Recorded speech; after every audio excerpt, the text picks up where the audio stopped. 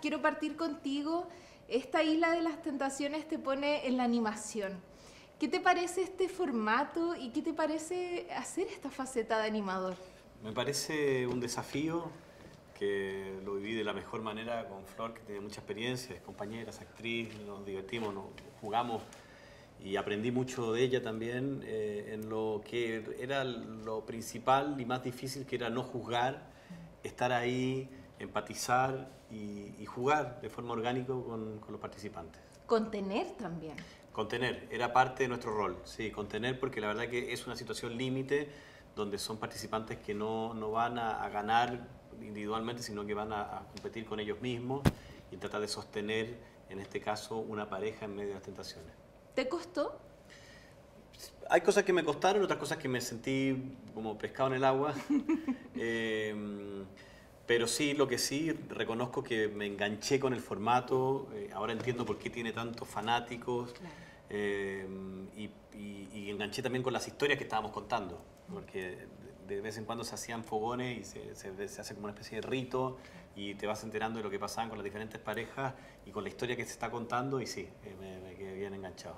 Flor, este programa pone a prueba temas súper importantes, la lealtad, el compromiso de las parejas.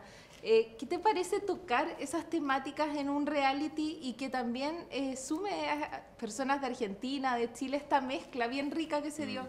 Sí, no, me parece, me, parece fantástico. El, programa es un, es un formato que ya ha sido exitoso. De hecho, en, España es un hit.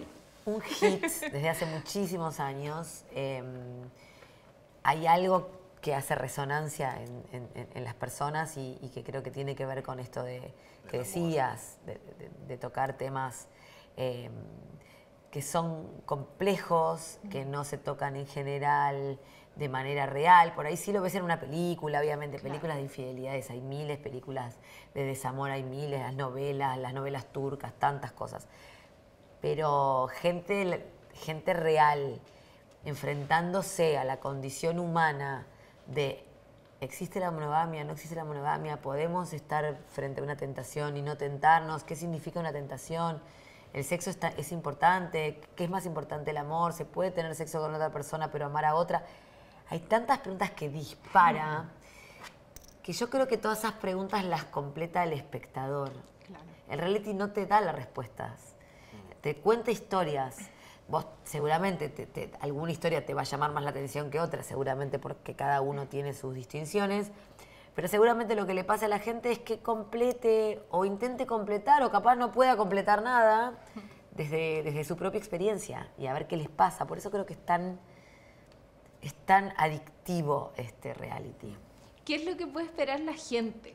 Porque eh, promete mucho, entonces es bien interesante, como dices tú, el fenómeno de verlo y después conversarlo. Bueno, promete y, cumple un gran formato con la mejor realización posible, nueve capítulos premium de, este reality que está filmado en alta definición, en, una isla paradisiaca, con, con un escenario inmejorable y con conflictos que se empiezan a armar, que son que empiezan a trepar, a trepar, a trepar y que, que escapa a nuestras manos eh, a un producto, sí, adictivo, pero que también estamos orgullosos sintiendo que, que se instalan varios temas arriba de la mesa, temas que por ahí incomodan, como son hablar de las diferentes formas de amar, del poliamor, de la lealtad, de la fidelidad, como decías, de, de las parejas abiertas, de la monogamia, de algunas cosas que están caducadas, de los mandatos, y ver eso y que de alguna manera todos es un, es un producto, es un programa que te interpela, que te mm. cuestiona también como telespectador. Y eso creo que estamos contentos y nos dimos cuenta estando ahí que nos pasaba. Nos íbamos a la casa después y que nos quedamos, nos quedamos dando vuelta y conversando sobre, sobre cómo, cómo se vive eh, el amor en estos tiempos. Lo llevó a la reflexión entonces. Sí, claro. Lo logró, lo logró.